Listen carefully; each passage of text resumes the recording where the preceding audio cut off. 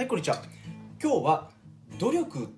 をできる人とできない人の違いって一体何なのっていう話を5つの違いにまとめてお話をしていきたいと思います。よろしくお願いします。ということで皆さんはどうでしょう？何か継続的に物事を続ける継続的に物事をやっていくこととかあるいは努力というそのもの自体が苦手っていう方もしかしたら中にいらっしゃらないでしょうか？でそもそもじゃあ努力って何とか努力ってどうやったらできるのっていう話から入っていくんですけれども、まあ、それ自体が大切かどうかって言われると実は大切かどうかで言ったらそうでもないんですよね。別に努力自体っていうのは大切じゃないんですよ。なぜかっていうと成功とか目標達成するために努力っていうのはあくまで必要条件であって十分条件ではないんですよね。努力をしたから目標が達成できるとか幸せになれるとか成功がつかめるとかっていうわけじゃないんですよ。中にはめちゃくちゃ働いてもう24時間寝る間も惜しんでもう1日15時間とか20時間とか働いている人でも成功がつかめない方もいれば1日に2時間3時間ちょっとした頑張りをするだけで成功をつかんでいる。金銭的に裕福に過ごしている方っていうのも中にいらっしゃるんですけどそうやって努力っていう言葉で片付けるとやっぱり前者の人の方が努力してるって周りからしたら見えるじゃないですか。ところが努力っていうのはあくまで必要条件であって十分条件ではないから長く働くとか質をめちゃくちゃ高い仕事だけを取り組むとかっていうので、まあ、限った話じゃないというところになってきます。じゃあ両者の違いっていうのは一体何なのっていうことを細かく細かく調べていくとどうやら努力っていうのはその人の持ち合わせてるポテンシャル能力ではなくて考え方にあるんではないかっていうのが見つかりましたので今日はその5つの考え方の違い努力ができる人とできない人との差では一体何なのかっていうことをお伝えをしていきます。はいということなので、ま考え方というところだったら皆さんも今日この動画が見終わった瞬間から変えれると思うんであの自分が努力っていうのを、まあ、このあくまで結論ですよあのこの学者が出した結論の中で自分が思ってた努力と違ったっていう方はぜひその考え方の方にシフトしていって取り組んでいただけたらと。はい、でまず1つ目何かっていうと精神論や根性論ではなくてあくまで努力っていうのは方法論なんだと。できついことを設定して例えば、あのー、習慣化しようとするとなかなか続かなかったりするじゃないですか。で努力ってどうしてもなんかそんなイメージって湧きません？例えば1日腕立て100回やるぞとかですね、えー、食事制限で毎日の摂取カロリーは1500キロカロリー以内に抑えるとかですね、えー、あるいは、まあ、明日からタバコは一切吸いませんとかっていうのが、まあ、あの努力だみたいなことをやっぱり思われがちなんですけど実際は努力が継続的にできている人たちっていうのはいかに楽してそれを続けられるかっていう考え方ににあるんですよ。いわゆる仕組み化してもうそれをルーティン化させてしまうと。だから例えば何かっていうとこういうアクションを起こしている時はこれをするとかこういうアクションをする時にはこれをするとかっていう風にもう前の動画なんかでもお伝えした if 前プランニングですね。これが起こったらこうするみたいなことをもう仕組み化しちゃってるんですよ。その動きの中に。例えば朝起きたら運動をするとかですね。朝起きたら腕立てを1回だけするとか。あるいは会社の通勤時には、えー、本をする本を読むとかですね。そんな風に決めてしまってるんですよ。でそれをやらないと気持ち悪いっていう状態を作るっていうのがまず1つ目の努力としてあ努力を続けていく中で大事な1つですよということが書かれています。なのであのこれができたらすごいとかっていうんじゃなくてもうそれをやって当たり前っていう状態を作りましょうっていうのがまず1つ目です。それから2つ目、えこれは先ほどの前提で話した能力ではなく考え方に近いんですけど才能があるないではなくて環境次第と。能力の高い低いっていうのは一切関係なくて勉強がしやすいとか継続しやすいとかあるいはそれをやってて心地よいっていう環境を整えてしまうと。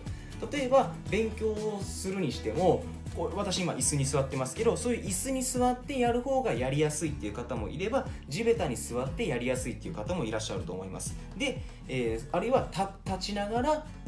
スタンディングデスクみたいなものとかあるいは歩きながら勉強する人のする方がやりやすいって方がいると。そういう自分のやりやすいとか続けやすいっていう環境をまずは整えるんですよ。そしたらそれに伴った能力っていうのが後からついてくると。なのでまずは自分が努力を当たり前先ほどの1つ目と一緒で仕組み化できる習慣化できるような環境っていうのを整えることから入っているっていうのが、えー、あります。そんなところです。で続いて3つ目ですね。3つ目は結果ゴールではなくてその結果を達成す結果をつかむため、えー、ゴールにたどり着くためのプロセスや過程っていうのを大事にしてますよっていうことなんですね。例えば皆さんの中でもダイエットで3ヶ月で1 0キロ痩せるとかですね。この資格を取るとかっていうゴール設定をされている方中にいらっしゃると思います。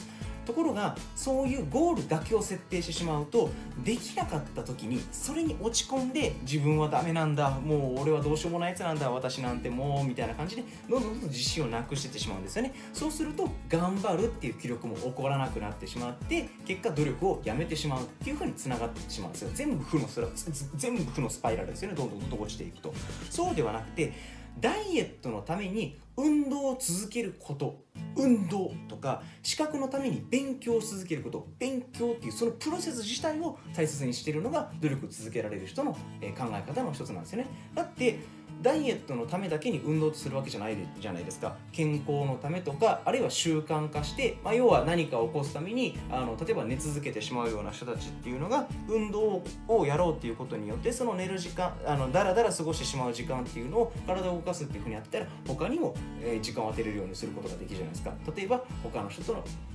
えー他の人と交流の時間にやってたりとか、まあ、自己検査で料理を作ってみたりとか勉強したりとかってそういう時間に運動することによっていろいろ始められると。だからプロセスが大事であって、えー、ダイエットで1 0キロ痩せられたかどうかとか資格を取れたか取れてないかとかっていうよりもその運動をしていることとかあるいは勉強していること自体が大事なんですよっていうのが努力続けられている人の傾向にあると。いうことです。それからさ、えー、続いて4つ目ですね。4つ目は楽しむものではなくて当たり前習慣化するものですよっていう考え方をしてます。で楽しむ楽しまないっていう風に感情が入ってしまうと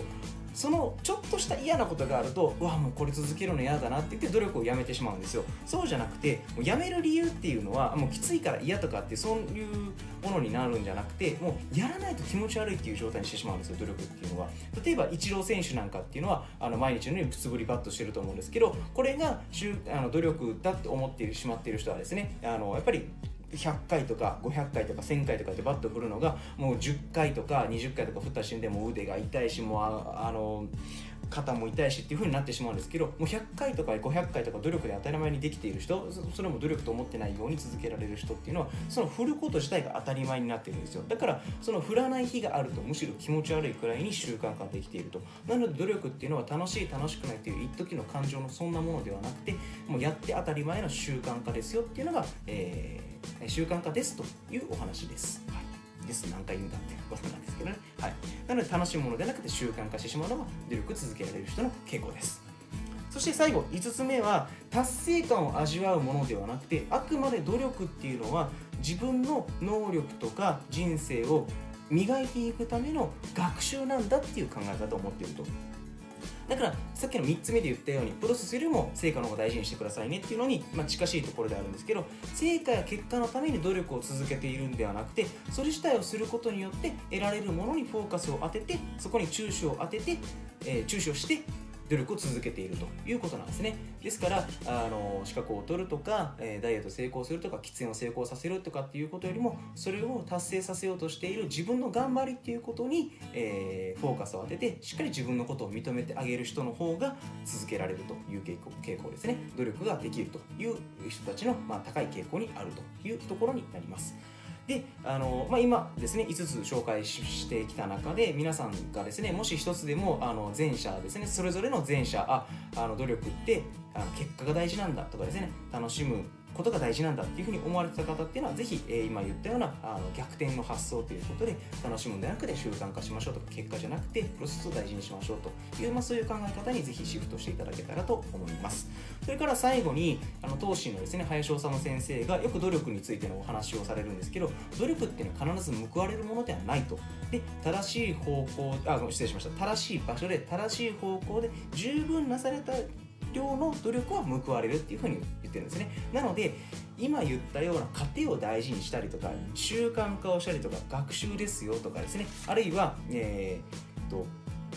方法あくまで努力は方法なんだとか環境を整えることなんだっていういうような考えのもとしっかりと努力をしてかつですね十分な量量をの努力をこなしていって先に皆さんが求めている結果とかゴールとかっていうのが得られるところになりますのでそこまではあの努力を続けて当たり前という考え方にぜひシフトをしていただけたらというふうに思います。皆さん自身が努力だけど努力じゃないと思っていることって実は結構あると思うんですよ。そういうことなんですよ。例えば皆さんが朝起きて歯を磨くとかですね顔を洗うって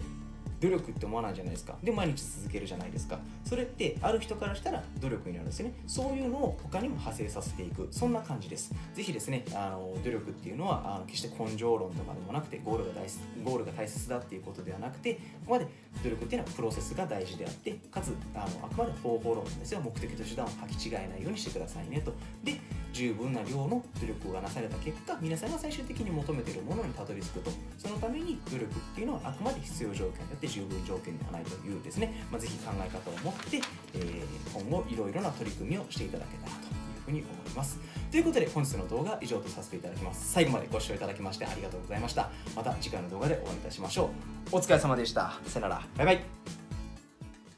本日も動画を最後までご視聴いただきましてありがとうございましたこの動画が面白かったな役に立ったなという方はですね、ぜひグッドボタンと、それから下のチャンネル登録ボタンもお願いします。それから皆さんの強みを引き出したりとか、あるいは伸ばしていく、そんなですね、コーチングもやっています。興味のある方、セッションを受けてみたいという方は、コメント欄、もしくは、D、え Twitter の DM からお願いします。それではまた次回の動画でお会いしましょう。お疲れ様でした。さよなら。バイバイ。